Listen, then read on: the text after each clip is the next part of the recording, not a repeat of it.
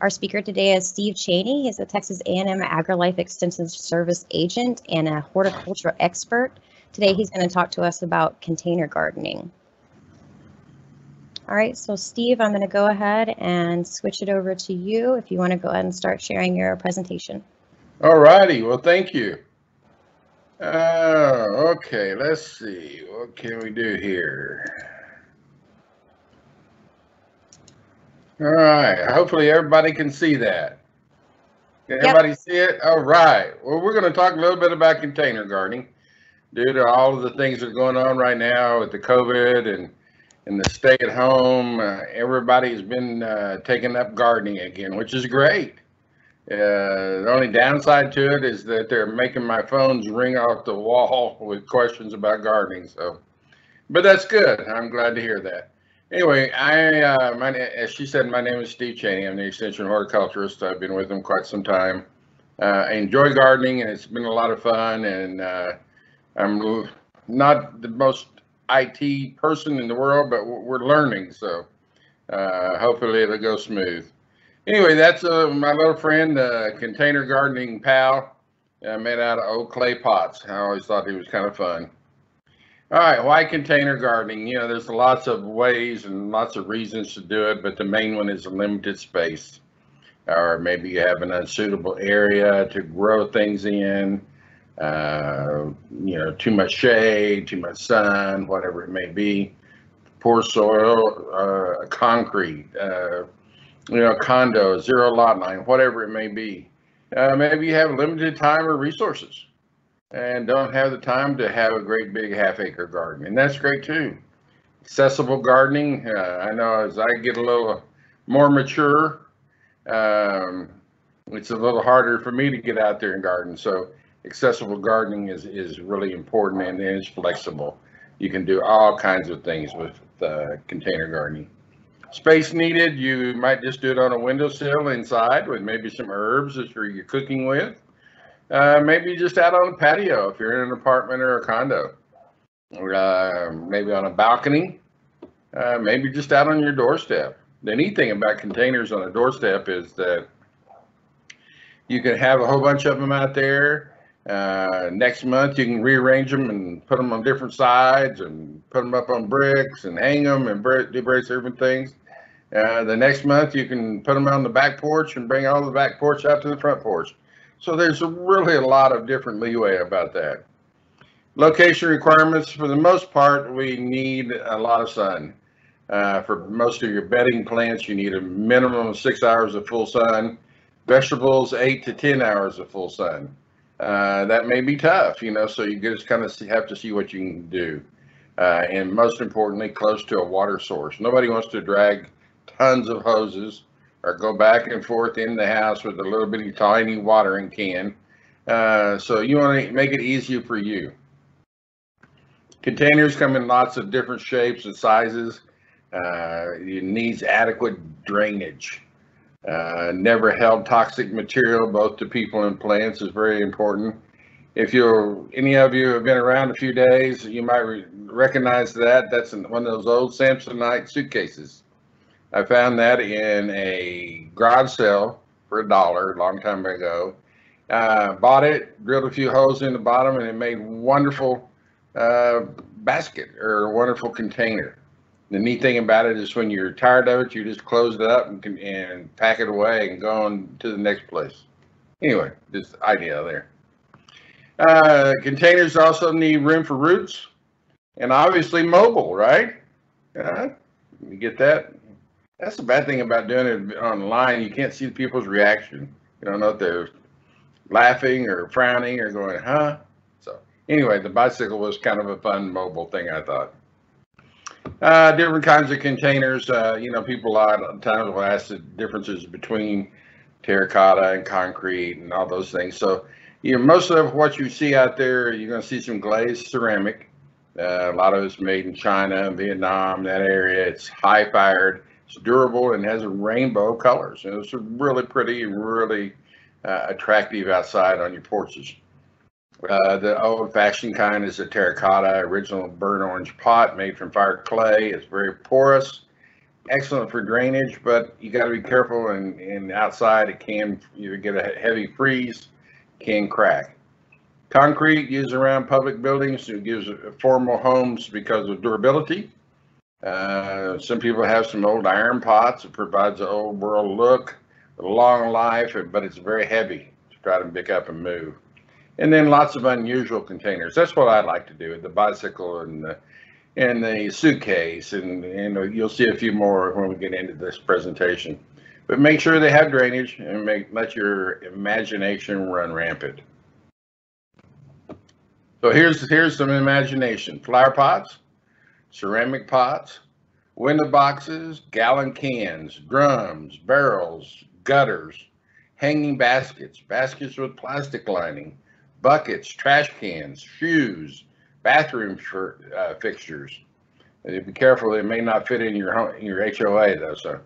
Uh, here's an old car, you know, there was a junk car, and so they just decided that was a great container and you know filled it full of, of interesting plants. Anything works uh, as long as you can have some drainage and put some water in it. Uh, the you know from year when I was a kid, everybody used old whiskey barrels. You know, cut them in half, and you could find them at every hardware store and all those kinds of things. And they did wonderful. Eventually, they rotted out, but it was a great container. Chimney flues are fun. Uh, used to see those all the time uh, when, you know, as people were building in uh, new houses and then they would get all these chimney flues and they'd cut them to fit and then they'd have all kinds of pieces left. You could go by and, you know, say, hey, can I have those, you know, from the builder and say, can I have those things before you throw them away? And they said, sure, you know. So you could paint them, you could stain them, you could stucco them. They were tall cylinders uh, most of them were kind of square. Some had holes in them. They were really fun. But now, after a while, people caught on to it and they knew people were using them. So then you go buy an ass and they say, Yeah, you can have it for $25, $30, $40, whatever it may be. So not quite as fun anymore. But to have an upright uh, container like that can really be an interesting idea. Hanging baskets, all kinds of hanging baskets. The more you can hang, the more fun you have one of the neat things that a lot of people don't think about is you have very little insect issues on a hanging basket. And people say, well, why? Well, if you hang it up, it's way up in the air. And so if the insects are on it, then they're very open to their predators of birds and other things like that, as opposed to being on the ground. So you'll find very few insects way up in the air like that. And you'll have a lot less disease because you get good airflow. Window boxes are fun. I love this picture. I've used it for years. And usually when we uh, are presenting live to people where you can see them, you know, I ask them, okay, do you think is is that really a window box or what? Or is it something else? People say, well, look at you and they say, funny, okay, what? Well, it is a window box on the side of a shed, and an artist painted that window. So that's painted. It's not even a real window. It's really, I thought it was fantastic. And then they just created a window box underneath it. You know, obviously real flowers too, by the way. Even regular old pots, you know, plastic ones or ceramic ones or whatever, you know, you, they can be fun because they can get all kinds of colors. You can change them out quickly, inexpensive, uh, and just have some fun. Ornamental grasses, uh, nothing like uh, fun ornamental grasses and a big toad like that. A big toad can really be a fun container to get some people's attention.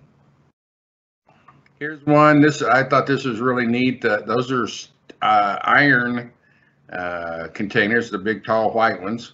And they they painted them white because that way they really stood out in the shade and in the sun.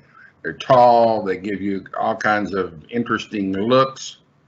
But in a minute, you'll see there's the same one, but in a dark color. And it's almost a silver.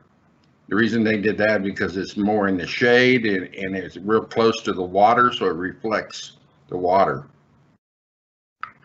There's some of the more of the water there, some of the containers in the, in the water, which is a neat thing uh, or you can have them on the outside of the water. You can have wispy, you can have color, you can have all kinds of neat, fun things. This was the, you know, we talked earlier about concrete for commercial things. Uh, this is an interesting bed. This was at the uh, Ball Seed Company uh, in Chicago. And they had a big flat acre, several acres where they did a lot of presentations. And one day, uh, Mrs. Ball came out and she said, You know, I'm tired of looking at flat areas. I want some interesting containers. So they brought all these in and built them and, and made huge berms and it just turned out gorgeous. There's some other more interesting pots. Uh, and we'll talk in a minute, uh, you'll know a little bit more about it, but if you've ever heard the thriller, the filler, and the spiller, here's the top coming out of the top. You can see the thriller. I hope you can see my cursor. And then you got the filler going in the side, and then you got the spiller coming out. So just remember when you're doing a big pot, thriller, filler, and spiller.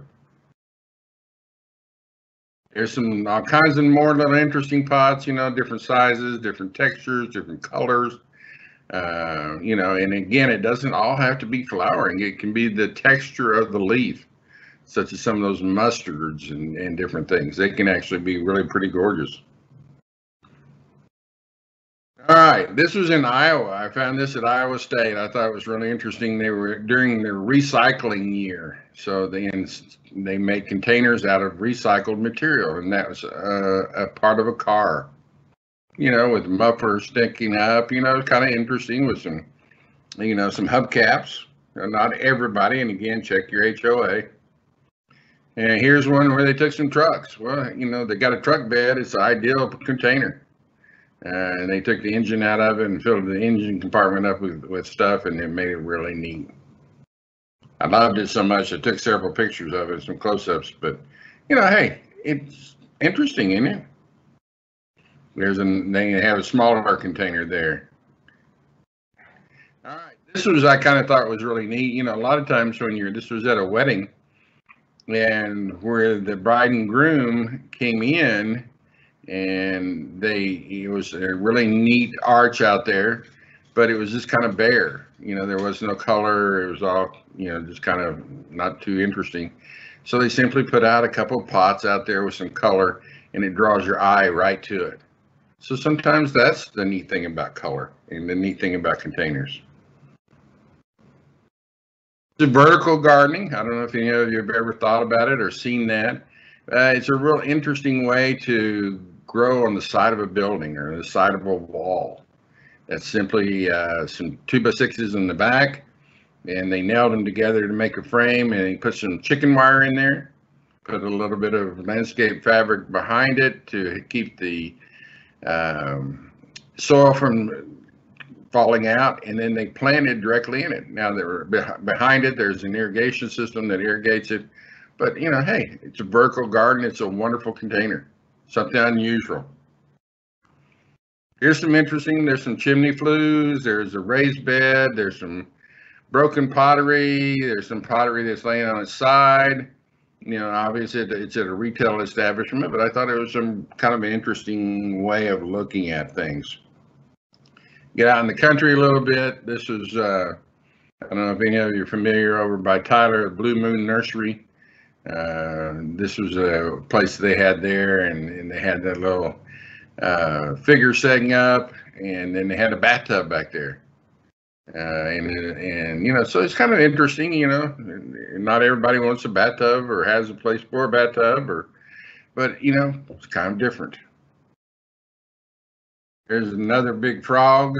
Uh, it's got some interesting plant material in that. Uh, you know, that can be a fun. That was furnished by Weston Gardens, by the way, and that was at um, Mayfest a few years ago. And you know, I thought I always thought that was a wonderful container.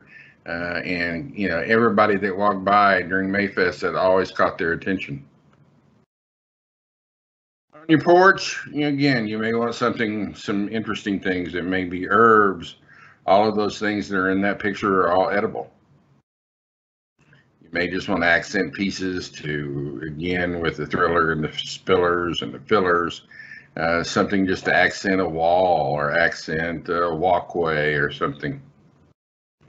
Uh, this is a neat patio in, in Arizona. I thought it was kind of fun. So they use great big huge plants, but they also had some hanging baskets and they had some things growing up and going up through the uh, arbor.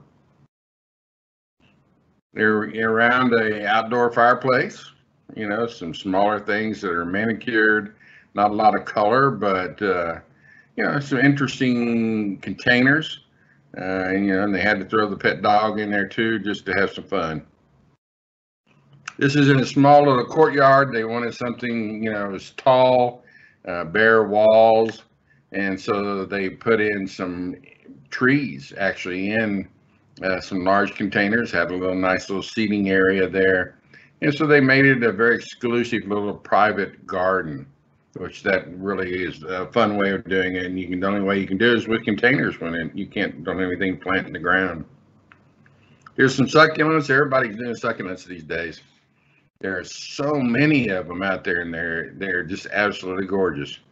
The biggest thing you got to remember is if you're planting succulents outside, or if you're putting them in containers outside, you may have to bring them in during a heavy winter because they they will just melt in or uh, if they get really heavily frozen. But you know, they put keep them in smaller containers. They're easy to bring in.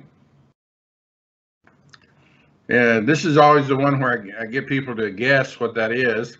It's a container, uh, you know, and they just pruned it. But it's, uh, you know, it's interesting because it's wheat. You know, it's a it's planted solid full of wheat, and so it's coming up, and then they just pr- pruned it off at various different levels to kind of give uh, some texture and to give a different look to it. I think it's kind of interesting. There's some more different ones with some flues and some other pots. Uh, there's some with uh, fennel so that you can actually harvest it and eat it. And then if you just absolutely want a really low maintenance pot that you don't have to do much with, then there's a little bitty water garden. You, it's just a pot that you fill full of water and put water pot water plants in it. Uh, drop a mosquito dunk in there once a month. Add, keep adding a little bit of water to it, and you've got an instant water feature, an instant water garden, all in a, in a simple small container. Anything goes. Uh, you know, this is another one of my garage sale finds. Uh, just an old pair of, uh, you know, galoshes you know, they, you know, they were for, you know, for a buck. So you drill a couple holes in the bottom, fill it full of different plants, and, you know, you got some instant pots that are easily to move. Got to keep eye on them so they don't walk away, though. Here's a, uh, a wicker bassinet, another garage sale find that I thought was interesting. Uh, and they pulled all kinds of neat, fun, you know, plants in there. This is for a gentleman that uh, had needed some uh, help. Uh, you know, so he had a, needed an enabling garden to make it more accessible for him. So he wanted a combination of a water feature and, and some container gardening. So they he had this built. Uh, he can do it, you know, easy, and he's got a little bit of all of it there. So, you know, anything is possible. Just your imagination's your only limit. Here's some more fun pots. Uh, herbs in containers, again, you know, you may just want uh, an herb garden and you may not have any place to put it, so it may all be in containers and that can be fun. Uh, here's the local garden and they took out all of the grass. There's not a single blade of grass in there. Uh, the, obviously the age-old container, which is a bonsai. You that's an interesting plant. That's a hundred and gosh, at that time it was a 150 year old tree. So that was probably 25 years ago. So it's probably 175, 180 year old tree now that they put in a bonsai and kept it uh, alive and kept it growing. Uh, and it's a wonderful hobby. It's a wonderful practice. Uh, and to some people, it becomes much, much more than that. Uh, you know, if you go out, this is out in San Angelo, and they loved agave. They had terrible soil, so they just decided to have an agave and cactus container garden. That can be fun. So it, you're not limited to edibles or to pretty flowers or whatever your, again, imagination is your only limit. Uh, this is in, in a downtown area. Uh, any of you that might be able to guess, you know, we always try to have a little guessing game here to see if anybody can recognize it, but it's in downtown Chicago. And they had some these nice long beds along the main street there. Uh, oh, can't think of now the name of the street, but it's a big famous street. And nobody would pay any attention to them. They threw trash in them and they did all kinds of things. So then they changed them out and put water features in there. I thought that was kind of interesting. It's not really a container, but the whole entire bed is a raised container. So I just thought I'd throw it in there for fun. Here's, you know, uh, some different uh, looks of it and people really stopped and, and appreciated it, and they they quit throwing trash in and really started taking a lot of pictures of it. So containers can be a lot of different things. They can be porous, the clay or wood, uh, but they dry out a little bit faster. If it's a non-porous container, such as plastic or ceramic, they retain water a little easier. Uh, metal or dark pots retain heat, so they'll use up a little water a little quicker uh, in small pots versus large pots as far as what type of plants you can put in them. And there's another one my garage sale finds, little children's glasses. But growing media, that's always important. You want as light a weight growing media as possible. You know, we call it growing media as opposed to a lot of the uh, nurseries and box stores that call it potting soil because in the majority of it, there actually is no soil in there. It is actually a growing media, man-made growing media that is lightweight, that drains well, uh, and doesn't keep it, you know, causing issues. Uh, but it will hold a little moisture. Can you know needs to drain well, and it needs to be disease and weed free. Potting mixes readily available. You can mix them out of peat moss. You can mix your own out of perlite, vermiculite, sawdust, wood chop, wood chips and just about anything else that you want to do. It just all depends on what you like. Uh, you know, some of those are maybe going away. the perlite and the vermiculite may go away one of these days because of the dust that it creates, and people need to wear a mask when working with that. So the EPA has been talking about that, but we'll see. Compost, garden soil is often too heavy, so you want to be careful that you don't uh, put garden soil in your pots. Plants, you can do annuals, you can do perennials, you can do shrubs, you can do vegetables, you can do fruit, you can do herbs. Again, the sky's your limit on what you do and what kind of extra yard art that you put in there and whatever you do to make it fun for you. Uh, the plants, you need to make sure the right plant at the right place, sun versus shade.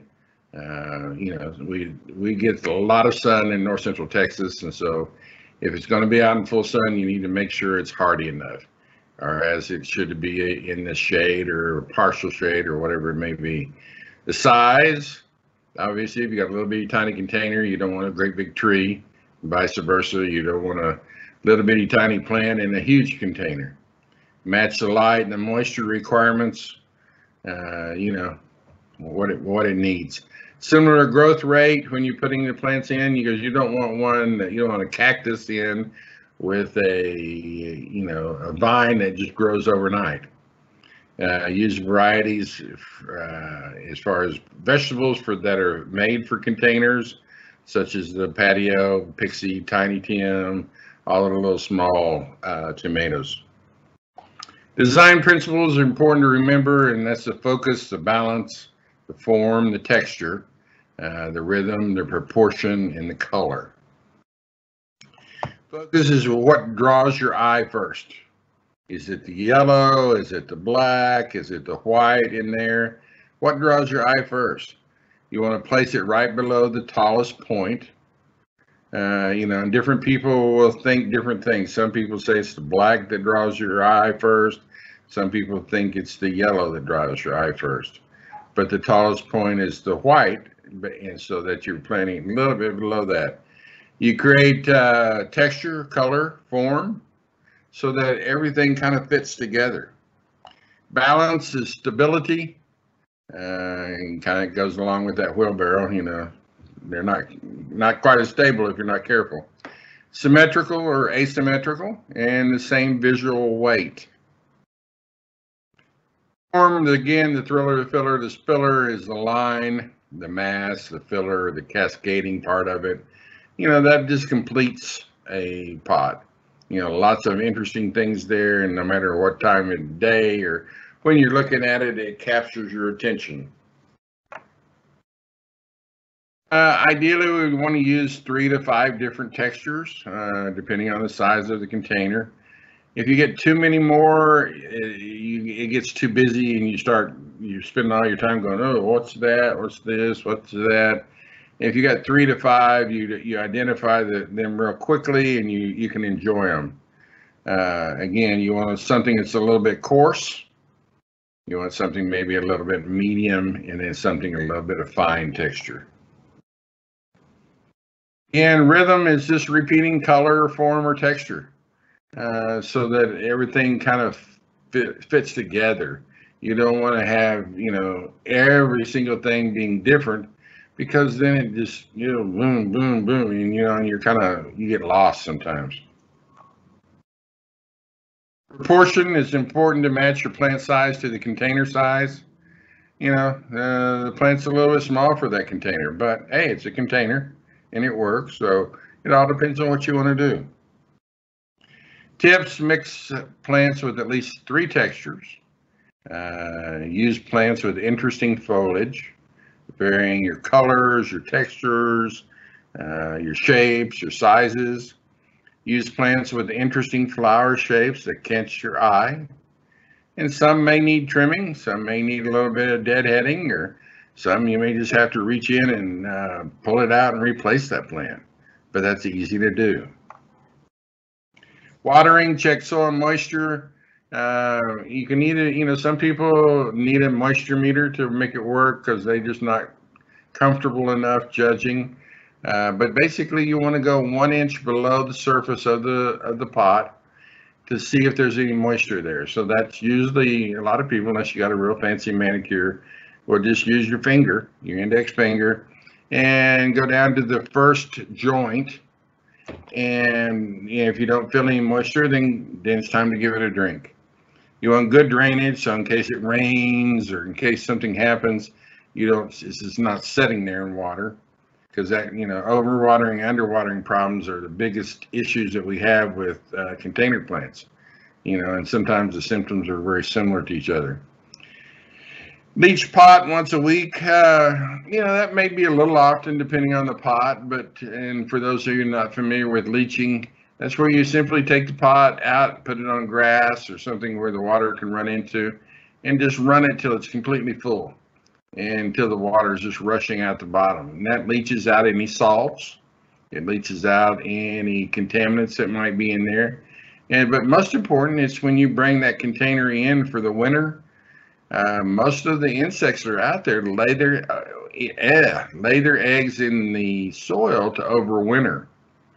And then, it, so if you bring a potty in in the wintertime, and it comes in where it's moist and you've got some humidity and the temperature's controlled, then the eggs think, hey, it's time to hatch.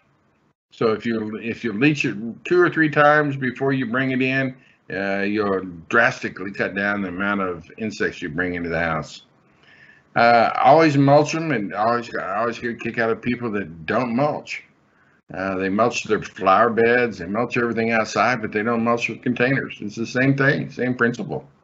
And leave one to three inches at the top of a container if possible, so that your water has a place to go in. It's not just running off right away. Fertilization is always important. A compost or slow release fertilizers are going to be the best. Uh, liquid fertilizer, it's easy to put too much on. Uh, if you put too much, then the plants grow real tall, real fast, real spindly, and then salts build up real quickly. If you don't do enough, then you got real slow uh, growth and your leaves often will start yellowing.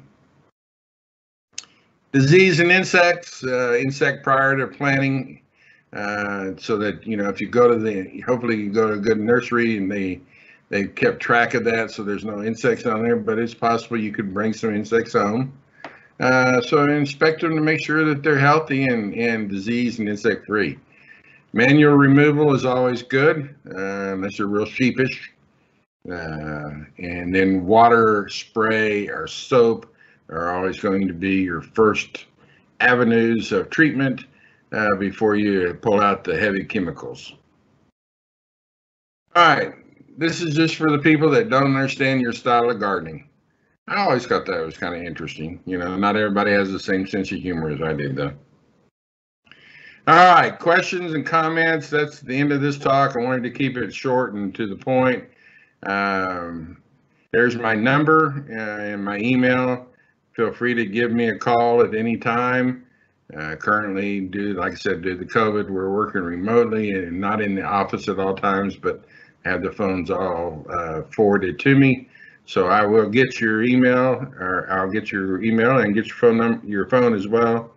I may not get back to you at the moment, but that's what we have voicemail for. So hope that helped you to know a little bit about containers uh, and maybe answered a few questions and maybe stimulated your mind on what you can do with what you have and maybe uh, might even go find some new colorful ones or maybe a suitcase or a bicycle.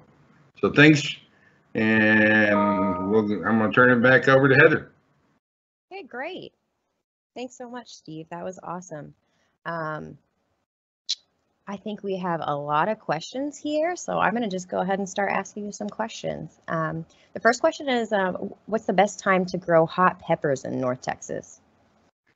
Uh, you know, they, you grow hot peppers two times a year. You plant them in the spring, so uh, usually in April, uh, and so they'll grow most of the summer. Then it gets too hot, they may get a little hot, you know, they'll burn up, and then you can go again in the fall and create a fall crop.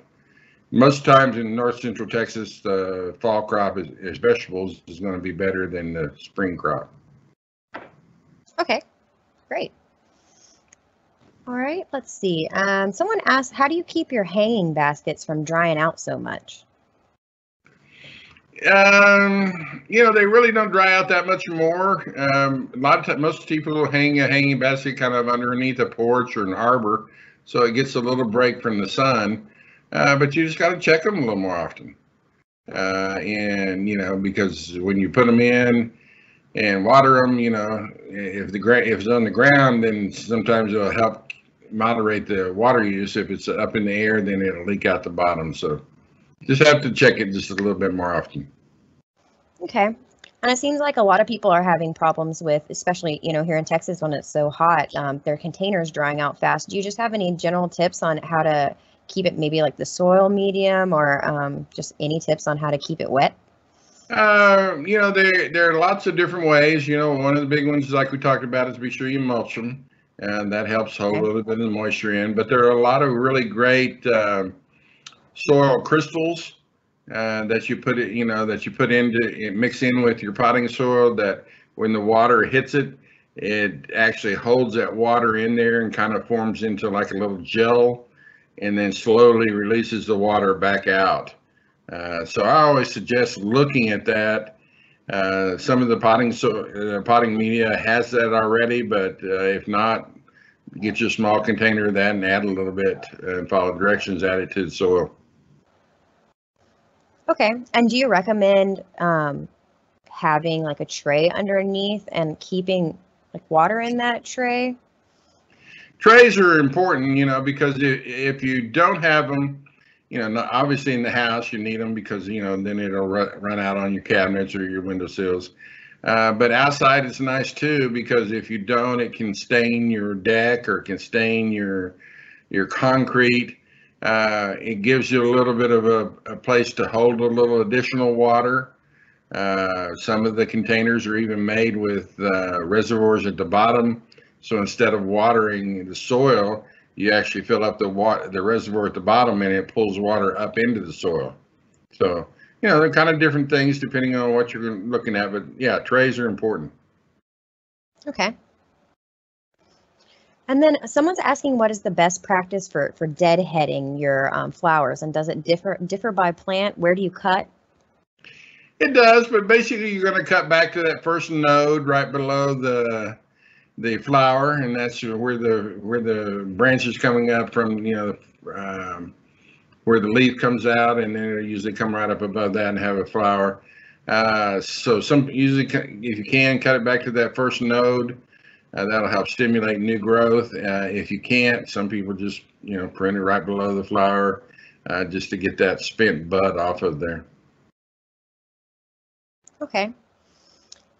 And what is your advice for what is your suggested um, growing media? I know that differs for plant for different plants, but um, what what do you like to use in your pots? I'm, you know, I make my own compost, so you know, I uh, usually just find a, uh, a, growing media. There's some a couple commercial growing medias that we use in the greenhouse that I like. Uh, but uh, you know, something that's got a little bit of, if I'm going to mix it, something that's got a little bit of vermiculite, a little bit of perlite, a little bit of compost, and then a little bit of uh, you know chopped up bark, uh, which I you know it gives it opens up the pores a little bit and allows the air and the water to get down in there a little bit. Okay. And can you kind of walk us through the process of how you use soap to remove bugs from your container plants? Soap is, you know, like I said, the first thing you're always going to, if you have, if you have bugs on your plants, whether they be in containers or not, you know, the first thing is to go, go put a, a high pressure nozzle on your hose and turn it on and just kind of beat the plant with the water pressure, and that'll knock some, most of them off. And people say, well, okay, it knocks them off. Aren't they going to come right back? Well, sure. But, you know, you're going to knock them off and then you, they're going to come back. You knock them off. They come back. You knock them off. They come back. And they're kind of like anybody else. You know, after two or three times getting knocked off, they say, hey, I'm going next door. He doesn't even have a hose. Uh, and then if that doesn't work, then you might want to use, uh, you know, a hose in sprayer that had that you put a couple drops of Dawn or something like that and what happens is that soap so keep, creates a soapy residue. You spray it on there and it gets on the insects, and the insects don't have any way to get that soapy residue off.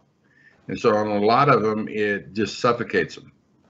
And so that's a, a quick, easy way because the soap's not going to harm your plants, not going to harm your soil, and it's not going to harm your, your pets or anybody else it just takes care of a, a lot of the classes of insects. Okay. And when it comes to um, native plants or plants that are really super adapted to our hot weather, what are your favorites for containers? Oh goodness, there's so many of them there. Um, whew. Now you put me kind of at a spot.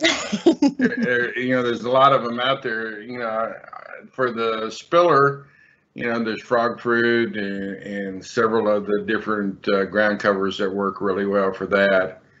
Um, you know, there are a lot of really good uh, native salvias out there that are fun to, to, to garden with because they take so much. Uh, you can cut them back two or three times a year. Uh, you know, and so you know, and there's some uh, there's a few ornamental native ornamental grasses that work. Depends on the size of the pot. So, you know, you can't go wrong with a native plant. Uh, you know, because it's well more well adapted to our droughts and our our temperatures. So, just whatever you like works. Probably good. Okay, great. And so, okay, someone is asking about um combating high wind. So if you if you live maybe in a high rise, you're on a balcony and your plants are getting beat up by wind, do you have any way to combat that?